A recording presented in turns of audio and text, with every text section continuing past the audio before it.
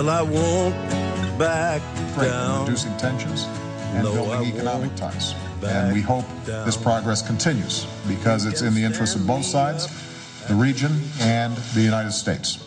Uh, indeed, I reaffirmed our commitment to a one China policy based on the three U.S. China communiques and the Taiwan Relations Act.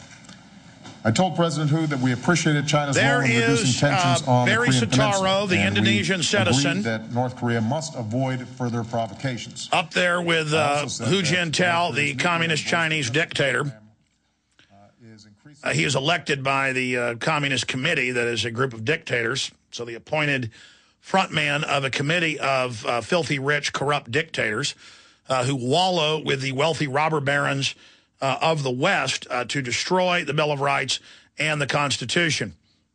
And of course, he bowed to him again yesterday. He bowed to him again a year ago.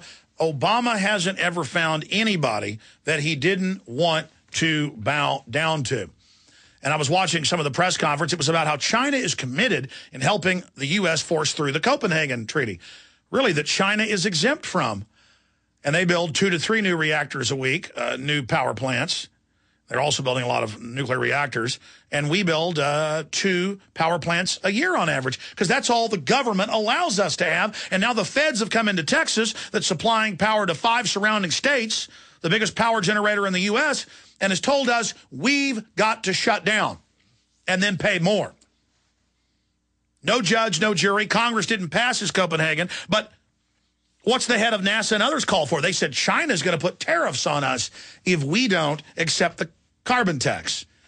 And oh, whatever China says, we better do.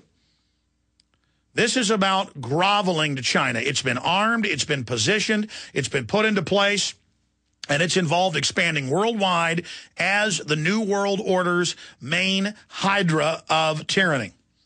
Because it is a complete nightmare high-tech tyranny over there, on record.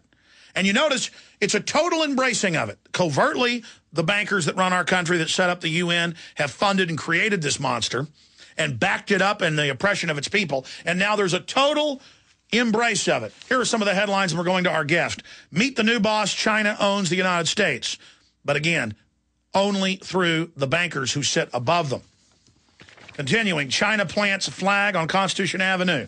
Never before done. Hundreds of flags all over Pennsylvania Avenue, just flaunting it. So that when his lordship drove in on the red carpet and uh, walked over the red carpet and then drove in, he would see uh, the uh, turned into a worship fest for authoritarianism. What does this tell you? What does this uh, say here? Our government grovels to tyranny. Well, of course, they're setting a tyranny up here. Our government has exported tyranny and tried to put dictators in and death squads all over the world if the governments didn't serve them. Here's the London Guardian. China on equal footing with U.S. as Hu Jintao visits Washington. The U.S. has been taken over by the banks that got $28 trillion in just the last two years that they won't say where it went. But we're told we're owned by China and they're our boss because they own 1 trillion. China's owned by the very same banking cartel.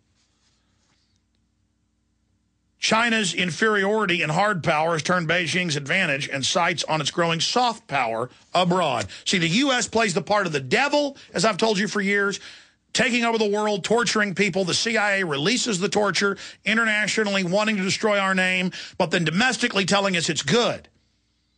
So that we are now the new Hitler, and when we collapse, the world will rejoice, and then China will rise up with the EU, and that's the planetary regime. Then the U.S. will be rebuilt as a troop-supplying mercenary backwater.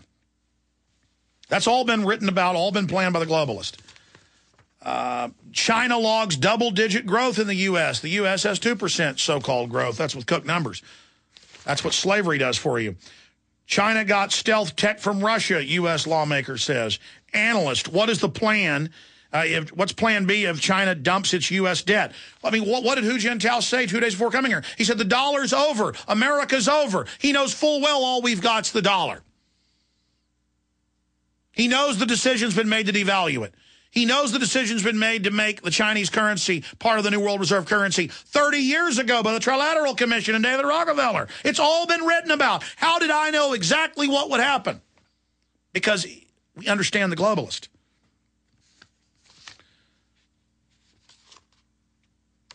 And it just continues here with what's happening. Um, we have traitors within our government who can pass laws to shut down our industry to boost the stock in their companies that are overseas, in Mexico, uh, in India, in China, and again, 160 plus other countries. It's very cold-blooded. It, it, allows them to destroy freedom. It allows them to collectivize here as people lose their jobs and now fall onto the social safety net that was just for the poorest, that now is going to be for more than half the public that's on some form of government assistance. You can see where this is going. And the authoritarians are confident because they know having half the public on some type of government paycheck, those people will do and vote for whatever they're told to do by this corrupt system. And that's why we're in deep trouble. They are coming after the free speech. They are coming after the guns. They are coming after your farms and ranches and your homes. And they are going to have unlimited armies of people who wouldn't couldn't get jobs at McDonald's in uniforms trained to beat your brains out. So you better take your counties and your cities over. You better get good cops in there and good sheriffs. You better understand they're putting the, their federalized goons in right now and that we're in a horrible situation. The CIA is now operating in every major U.S. city. All illegal. Face scanning cameras, total surveillance, all illegal. Satellites with uh, infrared biometric IDs I, told people about this eight years ago and got laughed at when I had the, the uh, Department of Defense reports. Alexander Haig was making the money off of it. Uh, it says Utah City may use blimp as anti-crime spy in the sky. The blimps are already up there. Most of them over 100,000 feet. On the clearest days, there's like a little silver dot. The news points cameras at it. ABC News in Utah a few years ago and said, is it a flying saucer? And it looked like the Hindenburg with two black propellers on it with solar panels on the side with, with, with, with infrared cameras hanging off the bottom. And I know the name of the airship company. I know about the billion dollar contracts, but, but people couldn't believe there was a surveillance blimp at 125,000 feet. So they wanted to believe it was aliens instead. Remember when I ranted about that? And then I go on big syndicated shows and they make fun of me and go, what's this about imaginary blimps? Here it is in Reuters, okay? They got Homeland Security blimps over every major city. Alexander Haig got the money. They're, they're, they're scanning you, they're following you, they're license plate reading, okay? There's unlimited money to enslave you. It's a criminal government. They can face scan everything, but they can't stop 500 billion a year of drugs coming in. Now, I want to play this video and go to this young man. We'll keep him five minutes in the next hour. Then we got Lindsey Williams coming on.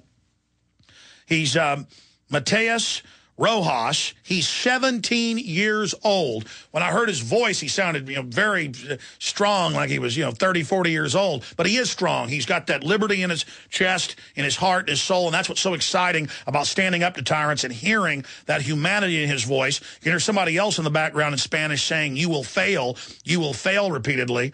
Uh, and it's it's going to get millions of views. It's already got on the different versions I saw, 400, 500, I, I forget, 1,000 views. One video alone, a quarter million. Uh, this just got posted two days ago. And uh, he's got breaking news. He's got a, an intelligence source. And obviously, the Rockefeller-funded Henry Kissinger coup with Pinochet, where they imprisoned over the years hundreds of thousands, killed tens of thousands.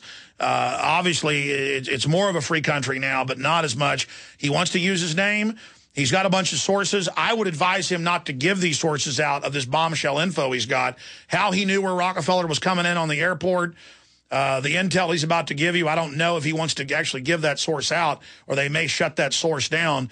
Uh, but I'll just say, I mean, obviously, this young man uh, is is in a dangerous situation. And I'm going to tell him that now. I'm not trying to scare him, but we need to, that's why it's good that he's going public.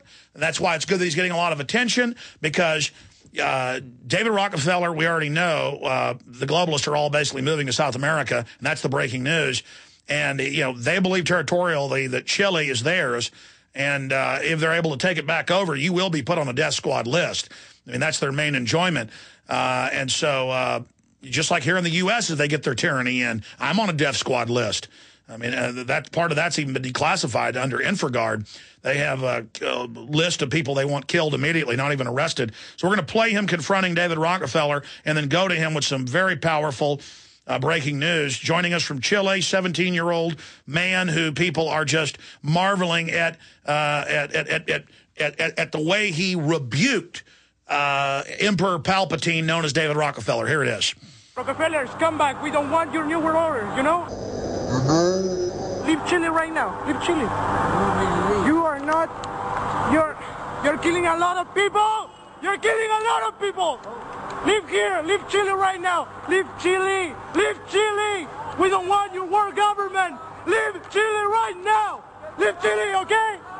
Leave Chile. Your family. Your family is the most disgusting in the world, you know? Leave here. Leave. Leave. You also, you're a traitor to Chile. Mr. Agustino, you're a traitor to Chile, okay? You're a traitor to Chile. What you're doing right now, okay? Okay? Okay? You know everything. You know everything. You're participating with him. You're participating with him in this.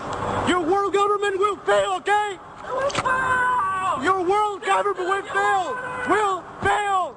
Will fail. You know it. Leave Chile right now. We don't want you here. We don't want your disgusting thing here. Now.